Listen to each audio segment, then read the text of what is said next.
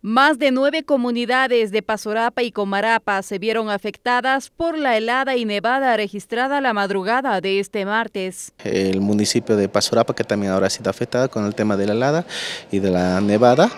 Dentro de eso también como componemos 15 municipios en tema productivo, el municipio de, de de los valles cruceños también que ha sido afectado.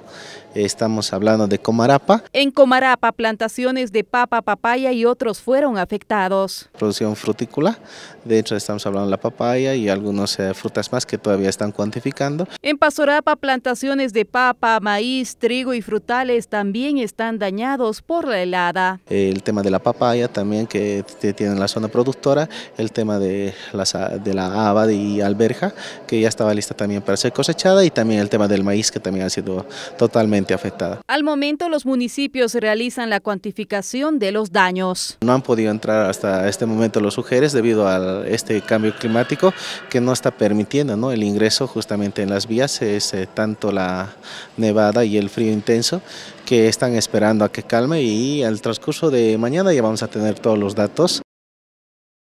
Las temperaturas van descendiendo en nuestro departamento.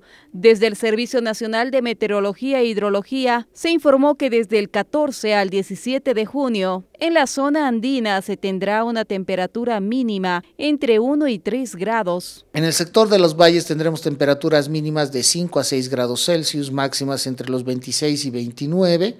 Cielos poco nubosos en este piso agroecológico de nuestro departamento. Recuerdan a la ciudadanía que existe una alerta naranja por temperaturas bajas hasta el 15 de junio, anunciadas para seis departamentos del país. En Cochabamba, hasta el momento, afectó al trópico cochabambino y parte del cono sur. En el trópico tendremos mínimas de 14 a 17, tomando en cuenta que estamos, ha sido la única zona que ha tenido a los efectos del frente frío que ha ingresado el fin de semana, por lo que las mínimas irán recuperando secuencialmente entre los 14 y los 17. Sorapa ha tenido un descenso brusco de temperaturas, evidentemente.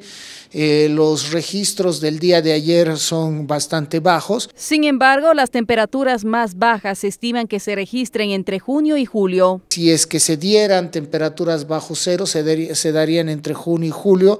Esto estoy solo desde el punto de vista estadístico y climatológico, porque es lo habitual en nuestra eh, en Cochabamba ciudad.